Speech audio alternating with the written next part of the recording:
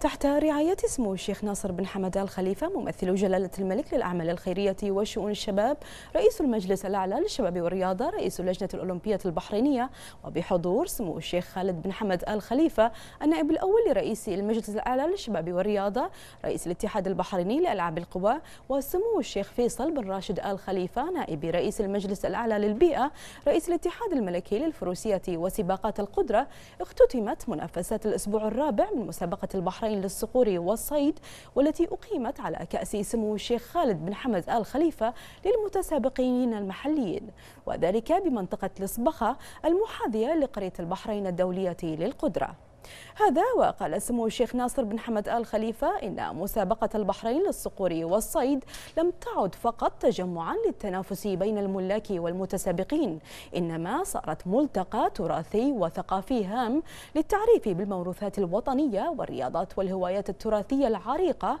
إذ لاقت المسابقة منذ إطلاقها إقبالا كبيرا من الجاليات الأجنبية في المملكة الذين حرصوا على الحضور ومتابعة المنافسات والتعرف على تراث أهل البحرين. من جهته أعرب سمو الشيخ خالد بن حمد الخليفة عن شكره وعظيم امتنانه لحضرة صاحب الجلالة الملك حمد بن عيسى آل خليفة عاهل البلاد المفدى حفظه الله ورعاه على رعايته ودعمه الدائمين للرياضات التراثية وممارسيها من الشباب البحريني والخليجي والذي يعكس حرص واهتمام جلالته للمحافظة على الموروث الأصيل الذي يجسد التراث الوطني لدول مجلس التعاون بدول الخليج العربية. مؤكدا أن متابعة جلالته أيده الله لفعالية هذه النسخة من المسابقة منحها القوة والنجاح الحقيقي والذي انعكس بصورة واضحة على مستوى المتسابقين الذين قدموا أداء متميزا في هذه الشوط من المسابقة.